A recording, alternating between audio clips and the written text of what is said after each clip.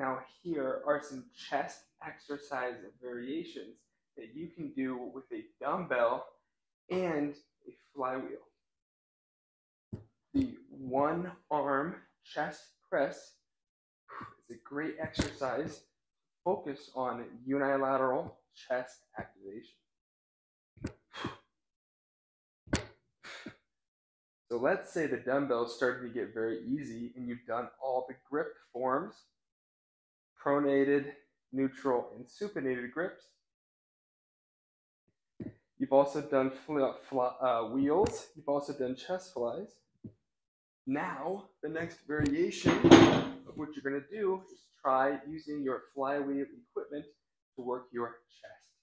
The eccentric portion of the lift is going to be exaggerated in this movement.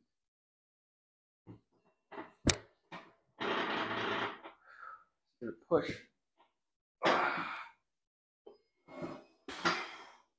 This flywheel is similar to a cable machine, but the faster you push up, the faster it pulls you down. This will give different variation to your body that will help the stimulus for growth of the muscle cell and the actual volume of the cell. This is a great variation to add to your workout. Flywheels alternating with regular weights, I have found to be an amazing combination to strengthen your body.